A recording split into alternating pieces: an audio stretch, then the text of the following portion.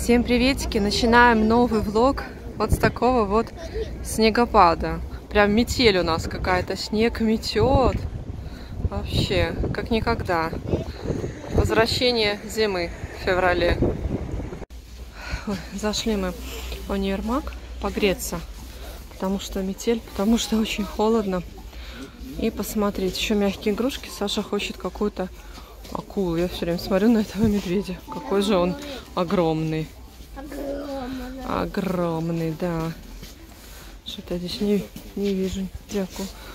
Ой, ну это не такая акула. Не такая? Не, ну в принципе. Ну, А, как-то другую. Я как-то себе другую представляла акулу. Ну тут еще есть и розовые, и голубые акулы. Сколько они стоят, скажи? Посмотри, сколько они стоят. Акулу. 17 рублей акулы такие стоят. А, нет, это старая цена. 17-22 рубля стоит эта акула такая. Вот такие осьминожки. Мне нравятся вот такие вот вообще красненький такой, яркенький тоже. Да, его в пакетик засунуть, чтобы он не пачкался. Цыпленка такого недавно покупали, только немножко другого раскраса, тоже модная сейчас такая игрушка. Ой, а это Да что? вытягивай. Что это такое? Рыба Ого, рыба какая. Обалдеть. Ну, сейчас такие прикольные, конечно, игрушки. Я говорю, на улице холодно, а в магазине очень-очень жарко. Просто вот постоял, и все люди ходят расстегнутые, потому что невыносимо. Я говорю, в торговых домах где-нибудь так топит, что просто вообще. Вышли на улицу, а вот и метель прекратилась. В принципе, более-менее нормально. Очень много народу в Нирмаге, учитывая, что суббота вообще столько людей там, поэтому тоже как-то не хочется там толкаться. Тем более нам ничего не надо, мы думали, ну, зайти просто чисто так, погреться. Погрелись, нам хватило там 10 минут. Вот это вот желе такое, что я показывала в предыдущем влоге, покупали, наше белорусское, апельсиновое. Сейчас попробуем, какое оно, как получилось. Брали перед этим желе виноградное. Было вкусно. Ну, тоже, тоже очень вкусно. А, в принципе, как и раньше, какой вкус. Даже мне вот это апельсиновое понравилось больше, чем виноградное. Классное желе. Так, начинаю делать салат с курицей и с фасолью. Беру вот такую вот грудку куриную, копченую. И сейчас, ну, мне она целая, конечно же, не понадобится. Ну, может быть, примерно половинка надо нарезать кубиками жирненькая такая курица получается. Вот на такие а, кубики нарезаем.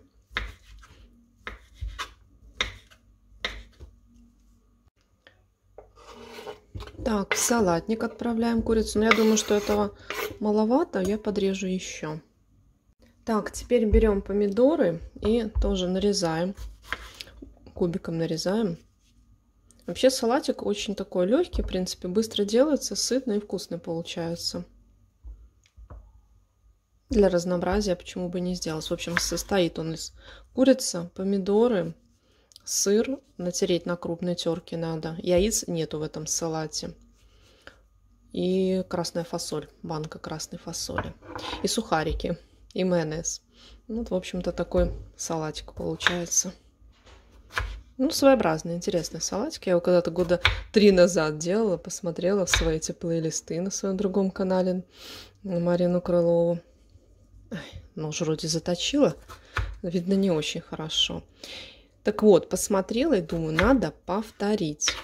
Потому что салатик интересный и вкусный. Я помню, мне понравилось.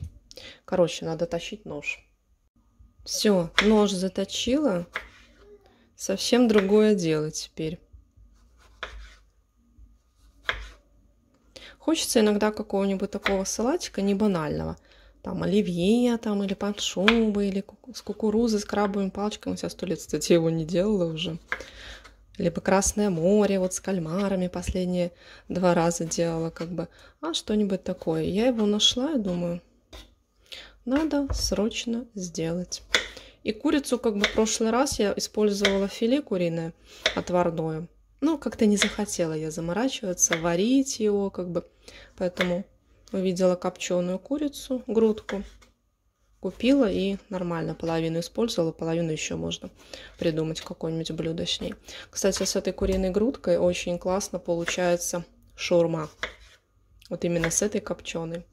Кстати, вот я сейчас говорю и понимаю, что да, надо сделать шаурму. Тоже что-то давно не делали. А домашняя шаурма это... О, это просто песня, это очень вкусно. Люблю я вкусно поесть. Но, честно говоря, вот недавно ходили в грузинский ресторанчик, я снимала. Ну, как-то все мне там так себе, не очень. Хинкали эти все, как по мне, вкуснее домашней еды, когда ты сам готовишь. Ничего нету. Вот как-то так. На крупной терке натираю сыр. Ну, не знаю, может быть, примерно половина от этого стандартного кусочка. Здесь 200 грамм, грамм 100. Причем натираю на крупной терке, потому что если я буду натирать на той терке, вот что с Валбересом, я показывала, мы купили классная терка, очень классно. Но сыр там натирается мелко. Это мне не надо. Такой, знаете, вообще шубкой. Поэтому буду тереть на такой, на крупной терке. Ну, вот так вот получилось сыр, натерся, натерла, да. И сюда его в салатник отправляю. Достаточно будет.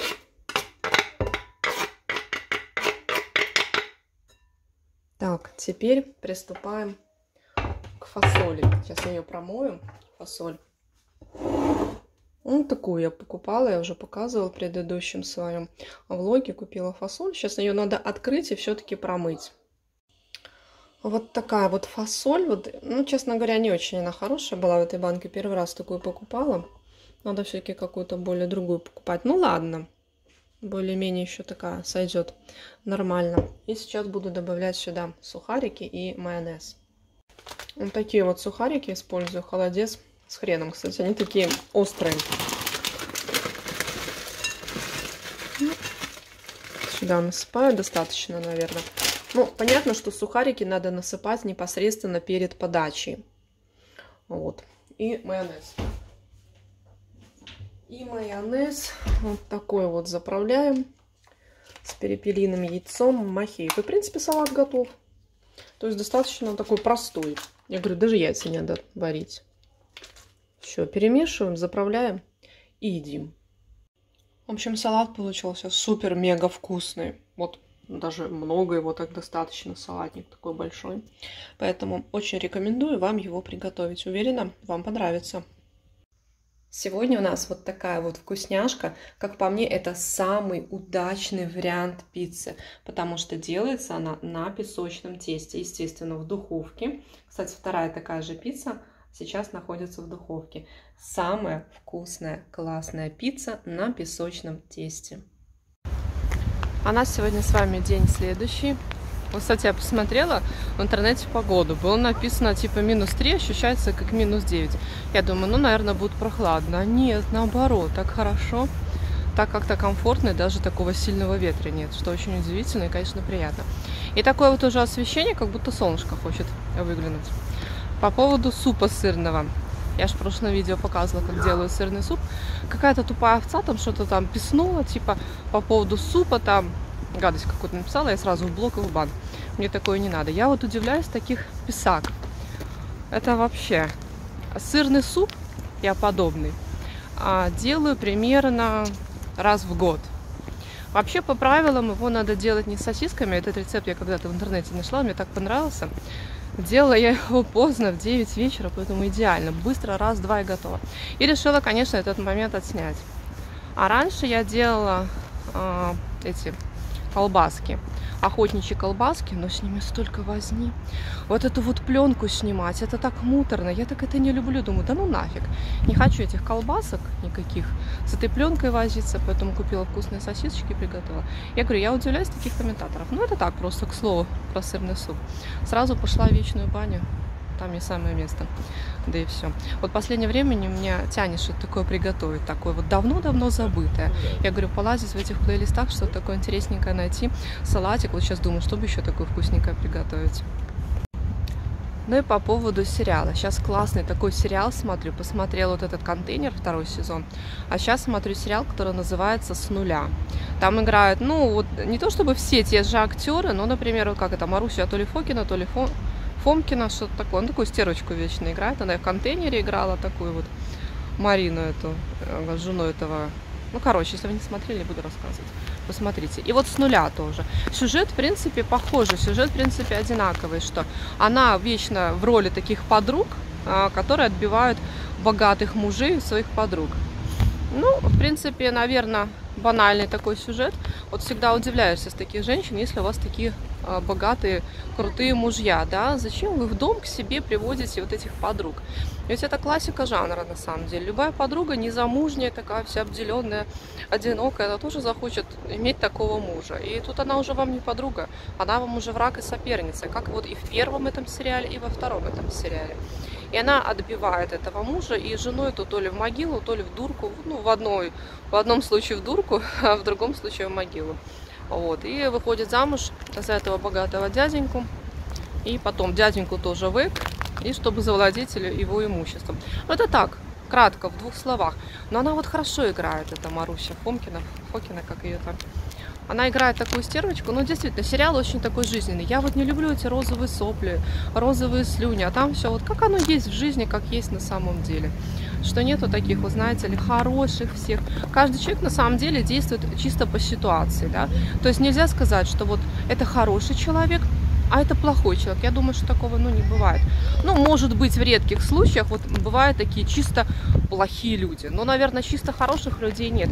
А в основном все люди как бы действуют исключительно по ситуации. Даже исходя из этих сериалов, исходя даже из каких-то вот наблюдений за жизнь, да, то есть чисто по ситуации. Это, кстати, нормально. Поэтому накидывайте идеи, какие вы смотрите сериалы, этот с нуля. Обязательно посмотрите. Обязательно. Вот я его посмотрю, потом что смотреть не знаю опять в ТикТоке искать какой-нибудь хороший сериал. Ну, я говорю, многие сериалы вот именно оттуда беру. Поэтому накидывайте свои идеи, что посмотреть, какой еще сериал. Всем спасибо, кто досмотрел это видео до конца. До новых встреч. Пока.